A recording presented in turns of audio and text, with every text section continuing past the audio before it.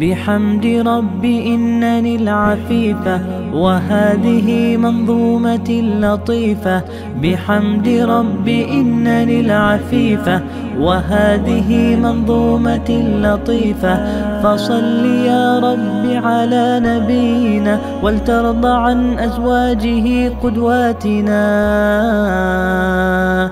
أخلاقي.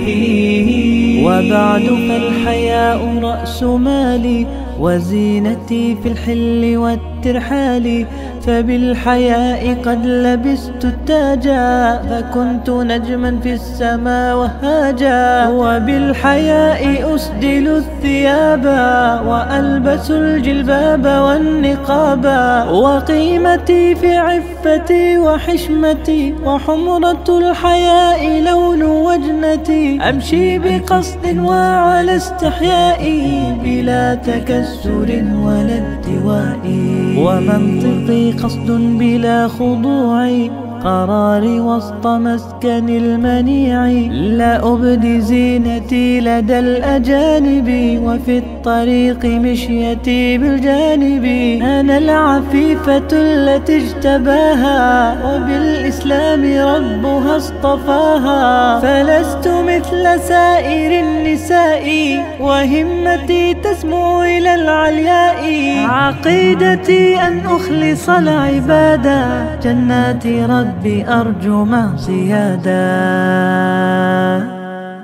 وظيفتي وظيفتي خدمة هذا الدين كزوج عمران لها حنيني وظيفتي خدمة هذا الدين كزوج عمران لها حنيني. إذ ندرت ببطنها محررا فكان عيسى سبطها مبشرا وأم موسى أرضعته ثديها فأرضعته حلمها وعزمها أنا العفيفة وحسن داري فإن خرجت فهو لاضطرار وغايتي أن أنشئ الرجال وأغذو الهرماس والأشبال وظيفتي هندسة الأجيال لا أبتغي وظائف الرجال. لها نذرت نفسي لن أنشغل عنها فذي وسيلتي إلى العلا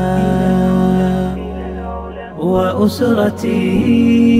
أنا الضعيفة التي قواها ابن أب أخ وزوج تاها أنا الضعيفة التي قواها ابن أب أخ وزوج تاها هم عدتي بهذه الحياة يحمونني من سائر الأفات.